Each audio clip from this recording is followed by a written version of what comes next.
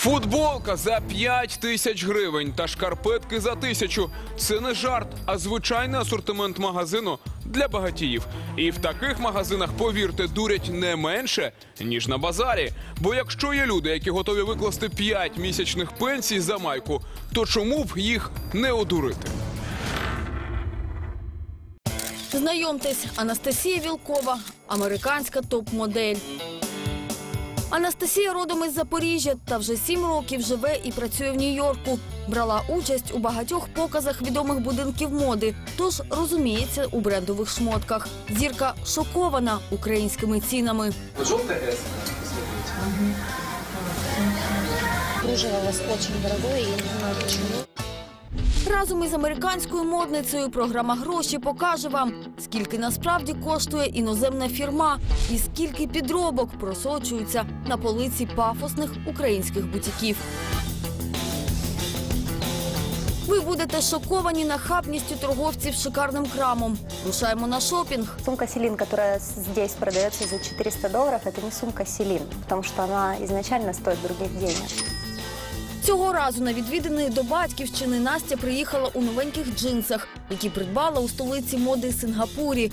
Такі самі побачила і в українському магазині. Зашла в магазин известного дизайнера Филипп э, Пляйн. Джинсы, последняя коллекция, 1200 евро.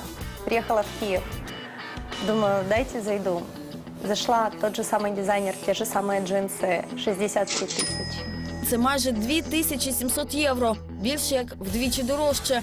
Настя ділиться враженнями від шопінгу по-українськи. Модельний ряд застарілий, ціни захмарні. Це кружево у вас дуже дорогое, я не знаю почему.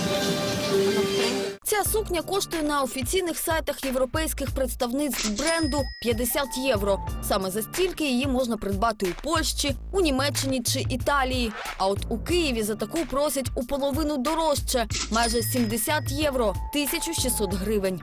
Економічного обґрунтування диким цінам не існує, адже конкретно цей бренд шиється у різних куточках світу, і ви не повірите, навіть у Львові. Торгуют два грузина арбузами. У одного арбузы по 5, у другого по 10. Мужчина подходит и говорит, почему у вас арбузы по 10? Он говорит, очень деньги нужны. Мне кажется, в Украине именно такая ситуация, когда всем просто очень нужны деньги. В середньому на виході з виробництва легка майка чи спідниця коштує 300 гривень. Припустимо, щомісяця з цеху до прилавків прямують 100 тисяч одиниць готового товару. Їх розвозять одночасно на 10 вантажівках. Нехай усі машини мають проїхати тисячу кілометрів. Це як від Львова до Запоріжжя. Товар в них приймають 50 магазинів, де в середньому працюють по 10 чоловік персоналу. Отже, підраховуємо. У сумі отримуємо 316 гривень за одну ковтинку. Чимало відомих світових брендів шиють одяг в Україні. Закордонні компанії завозять тканини, надають лекала, а потім українські швачки перетворюють їх у фірмовий одяг. Це Вінницька фабрика. Тут виготовляють відомі на весь світ чоловічі костюми. Made in Ukraine. Та українські виробники закордонної фірми жаліються. Майже усе, що шиють, йде на експорт. А на українські полиці відправляється лише десята частина товару. Усе тому, що їх на ринку витісняють серйозні конкуренти. Мы не можем спорить ни с изделиями секонд-хенда, ни с изделиями, которые дешевыми и некачественными, которые завозятся из Китая. Програма гроші покаже, як підробки потрапляють у магазини. Это из новой, а не из прошлой коллекции. Ось і знаходимо в торгівельному центрі чудовий екземпляр родом з Китаю. Сукня нібито від Dolce Gabbana.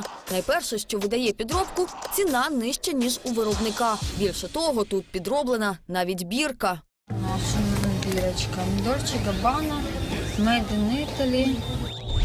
Невже так просто видати підробку за оригінал?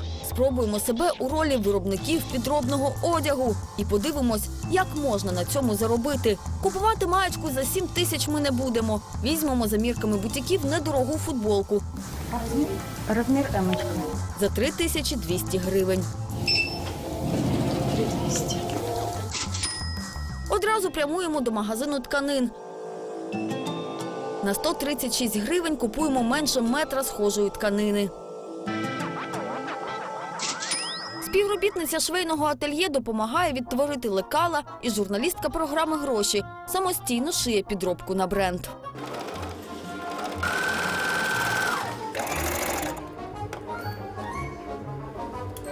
Ну от і все. Останній штрих, і ми маємо таку саму футболку, але більш як в 20 разів дешевшу за оригінал. Матеріали ми витратили 136 гривень. За фабричними розцінками на одиницю ще 30 гривень накинемо за роботу і 16 гривень на витрати за схемою, яку ми вирахували на прикладі великої мережі. Тож маємо 182 гривні чистої собівартості футболки. Усе інше, що ми додаємо до цієї суми, вже не залежить від жодних економічно обґрунтованих потреб. Це вартість бренду і накрутка магазину. Виходить, у магазині така сама футболка коштує на 1758% дорожче. Починаємо другу частину модного експерименту. Спробуємо продати нашу псевдобрендову футболку. Звичайно, за дорого. Ну вот смотрите, это у нас свеженькая. Підсовувати підробку на вішаки модного бутіка ми не будемо. Вони з цим чудово справляються і без нас. Це стоковий магазин. Дорогу до нього знають усі модниці Києва, бо тут можна придбати фірмові речі із минулих колекцій за значно нижчою ціною. Это такая, ну просто свободненькая моделька. Видаючи з себе нову співробітницю крамнички одягу, журналістка програми гроші рекламує щойно завезену футболку. Ну вот эта футболочка, она у нас одна, и это из новой, а не из прошлой коллекции. Футболка виробництва програми гроші стала до смаку клієнтці. Дівчина готова заплатити за неї півтори тисячі гривень. Мені не подобається, як вона тут виглядає, але я думаю, я її візьму. Тобто ми могли б заробити лише на одній футболці 1300 гривень. Та як тільки ми кажемо, що це підробка, дівчина відмовляється її купувати навіть за 200 гривень. От я її не буду купувати, тому що Ну. мені показали оригінал. Бо в Україні чомусь так модно заощаджувати на всьому, аби тільки придбати фірмовий товар. Та не факт, що він буде справжнім. Тож як не потрапити на гачок спекулянтів і не купити фальшивку за ціною бренда, радить програма гроші. Пам'ятайте, дорогі бренди не продаються на ринку. Якщо магазин пропонує товар кількох елітних марок, це скоріш за все підробки.